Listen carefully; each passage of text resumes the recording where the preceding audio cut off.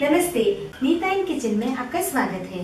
आज हम बनाने जा रहे हैं वेजिटेबल मंचूरियन विद ग्रेवी यहाँ न केवल वेजिटेबल नूडल्स बल्कि नान, तंदूरी रोटी और पराठे के साथ भी खाया जा सकता है। तो आइए देखिए इसे बनाने के लिए हमें किन चीज़ों की ज़रूरत है।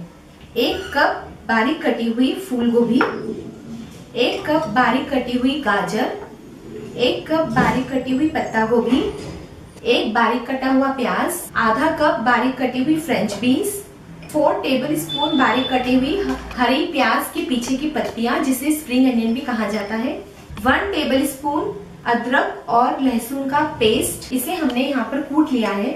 Three tablespoon cornflour three tablespoon मैदा वन टेबल स्पून चॉप करे हुए लहसुन टू टेबल स्पून तेल वन टी स्पून विनेगर दो बारीक कटी हुई हरी मिर्ची, नमक स्वाद अनुसार तलने के लिए तेल two tablespoon soya sauce one tablespoon green chilli sauce और two tablespoon red chilli sauce और डेढ़ कप पानी।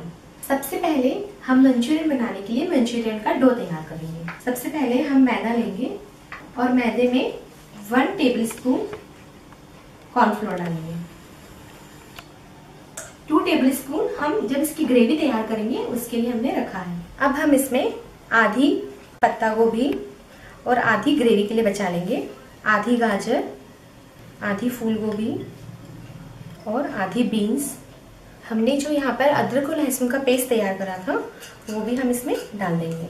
हमने यहाँ पर दो हरी मिर्ची ली थी तो हम आधी हरी मिर्ची इसमें डालेंगे और आधी ग्रेवी के लिए बचाएँगे। नमक स्वाद अनुसार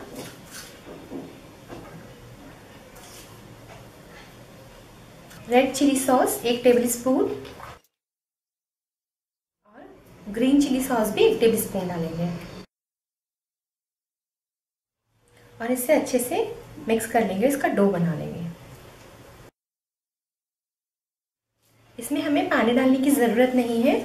इसी से हम डो तैयार कर लेंगे. हमने इसमें इतनी सारी सब्जियों का यूज़ किया है. वैसे तो सब्ज़ियाँ खाने में आती नहीं है. इसी वजह से बच्चे भी इसे आराम से खाएँगे और सब्ज़ियाँ भी चली जाएगी.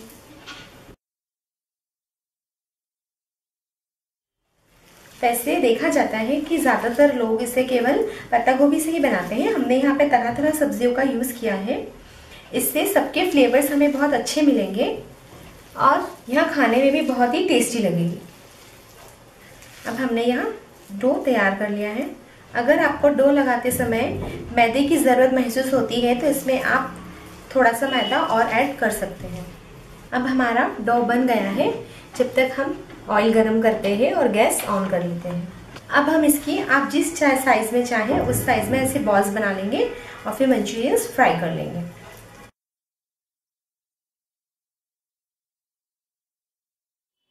तेल गरम हो गया है, अब हम इसमें मंचूरियन बॉल्स जो हमने बनाई थी, वो हम इसमें डालेंगे फिर फ्राई करेंगे।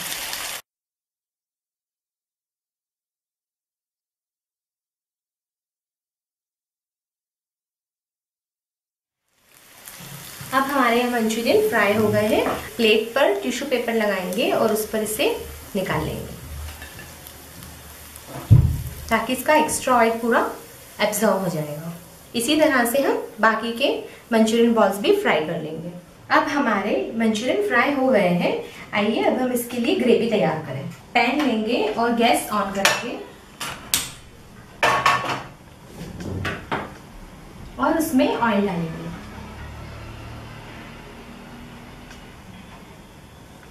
हमारा ऑयल गर्म हो गया है। अब हम इसमें जो लहसुन हमने चॉप किए थे, वो लहसुन और हरी मिर्ची डालेंगे। इसे हम बहुत लाइट सा ब्राउन करेंगे। बहुत ज़्यादा ब्राउन नहीं करेंगे।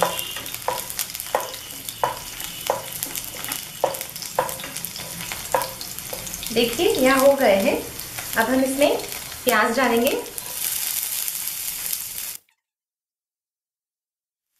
और सारी सब्ज़ियाँ जो हमने उस टाइम पे बचाई थी, जैसे कि गोभी पत्ता गोभी, गाजर और फ्रेंच बीन डाल देंगे।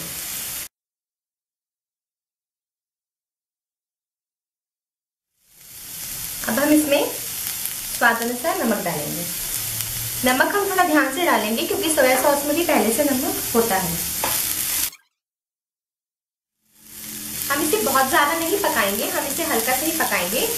क्योंकि हाँ सब्ज़ियाँ थोड़ी सी कच्ची रहती है और मुँह में आती है तो खाने में बहुत अच्छी लगती है। जब तक सब्ज़ियाँ हो रही है, तब तक हम कॉर्नफ्लोर में पानी डाल के घोल लेंगे। इससे हमारा मंचूरियन की ग्रेवी थोड़ी थिक हो जाएगी। देखिए, हमारी सब्ज़ियाँ अब थोड़ी सी क्रंची हो गई है। अब हम इसमें one tablespoon soya sauce डालेंगे। One tablespoon chilli sauce डालेंगे। कॉर्नफ्लोर डालेंगे और विनेगर डालेंगे। और इसे एक बार चला लेंगे। देखिए कॉर्नफ्लोर डालने से कितना थिक हो गया है। अब हम इसमें डेढ़ कप पानी डाल देंगे।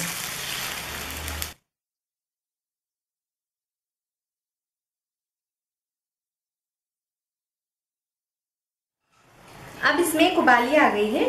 उबाली आने के बाद हम इसमें जो मंचूरियन हमने फ्राई किए थे, वो मंचूरियन डाल देंगे।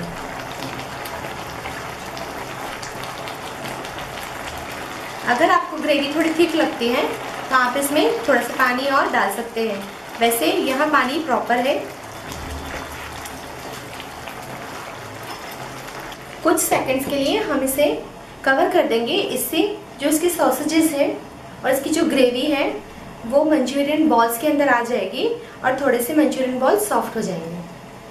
अब हमारे यहाँ गर्मा गर्म और स्वादिष्ट वेज मंचूरियन ग्रेवी तैयार है। अब आप इसे बनाइए और अपने अनुभव मेरे साथ शेयर कीजिए। मेरे लेटेस्ट वीडियो देखने के लिए सब्सक्राइब टैब पर क्लिक करें। Thank you